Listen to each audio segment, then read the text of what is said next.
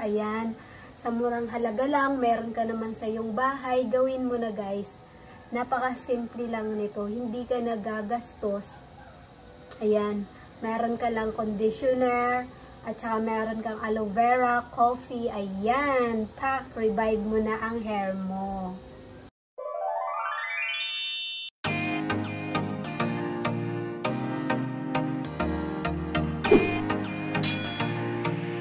Guys, today's video, ipapakita ko sa inyo kung paano ako nagre-revive ng aking buhok. And guys, kapag dry yung aking buhok guys, is nire-revive ko siya using aloe vera and Dove conditioner. Up to you guys kung ano yung gusto mong gamitin or kung ano yung hiyang sa'yo na conditioner. At kailangan natin ng coffee. Ayan guys, yung coffee na kailangan natin. At ito yung lalagyan natin ng pagmimixa ng aloe vera.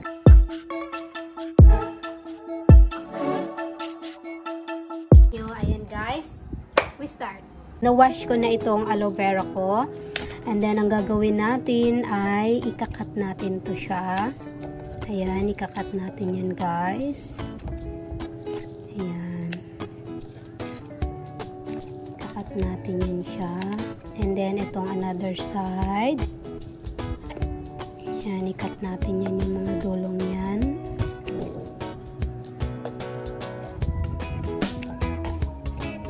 Ayan. And then, after that, guys, pat natin siya. Is, ito naman natin sila guys. Hindi mo mag-squeeze. Yan, yan. Then, after that, is igaganyanin mo siya. I-open mo siya, guys. Kasi, kunin mo yan. Yan. Kasi, isa lang natin. Ayan, ito. Dito natin siya ilalagay. Yan, ganyan. Yan. Kakayurin mo lang ng ganyan. Kailangan matyaga ka sa pag ganito, guys.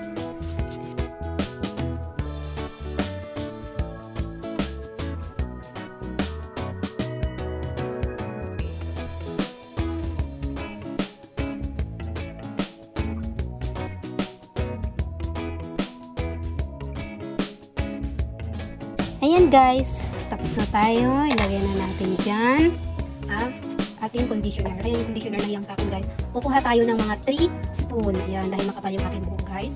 Kailangan ko ng 3 spoon. Dahil yung haba ang aking buhok. 1 2 Oops. Okay, ayan, hindi natin ito. After nyan guys, ay i-mix mo. Mix. Mix mo siya. Ayan. I-mix mo siya hanggang matunaw yung conditioner. After nyan, ay ang coffee guys. Ayan, meron tayo 1, 2, 3, 4, 5. Dahil mahaba ang ating buhok, kailangan natin ng 5. 1. Ayan natin dyan. 2. Ayan. Kailangan ito guys ng 5 dahil ating buhok. Guys, ay inimix natin siya. Ayan, haluin mo lang siya ng haluin hanggang mag-absorb hanggang ma-absorb niya yung coffee.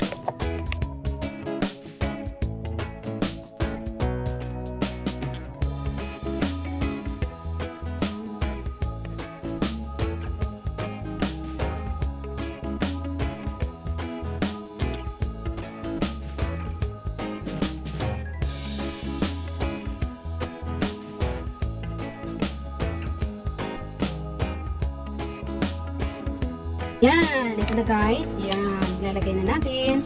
Bago natin siya ilagay guys, ay kailangan i-brush muna natin yung ating hair.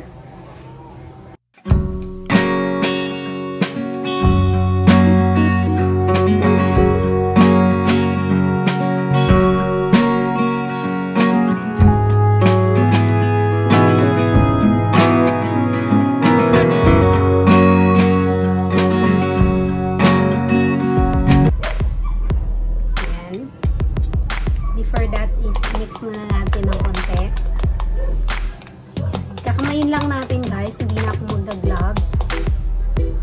Yan, dahil mas gusto ko walang gloves kasi mapifeel ko kung saan ko siya nilagay. Ayan, ang gagawin natin is, yan. Diba, para siyang ano guys, para siyang wax.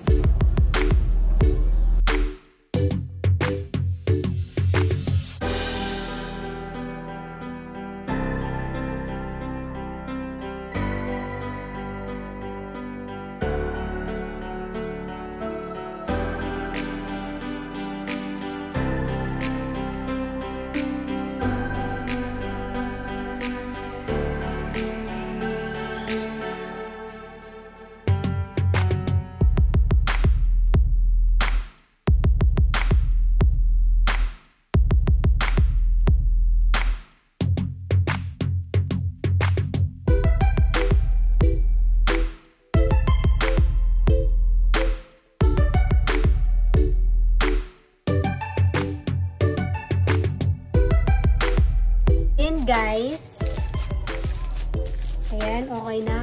Ibababad natin siya ng mga 15 minutes and then bago natin siya babanlawan. Ayan, ang dami kong dumi. But it's okay guys. Gusto ko ng white kasi mas madali siyang matanggal yung mancha. Ayan guys, maghintay tayo ng 15 minutes. Now guys, nakapagbanlaw na tayo. Kailangan na natin siyang i-dry using my hair dryer. Ayan, let's begin.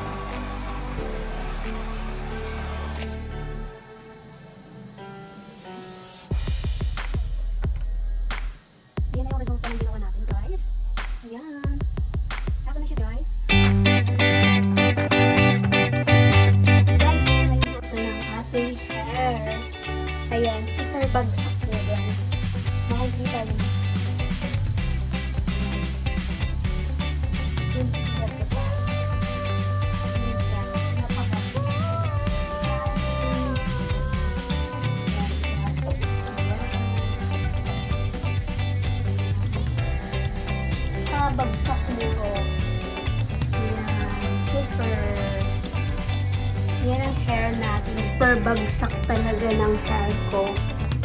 Ayan. Another side. Ayan. Super. Ligit talaga ito siya guys. Try nyo sa mga hair nyo. Guys, sa murang halaga, nare-revive mo na yung hair mo. Hindi mo na kailangan pumunta ng salon para magpa-revive ng yung buhag-hag hair. Ayan. Sa murang halaga lang, meron ka naman sa iyong bahay. Gawin mo na guys. Napaka-simple lang nito. Hindi ka nagagastos. Ayan. Meron ka lang conditioner. At saka meron kang aloe vera, coffee. Ayan. Ha, revive mo na ang hair mo.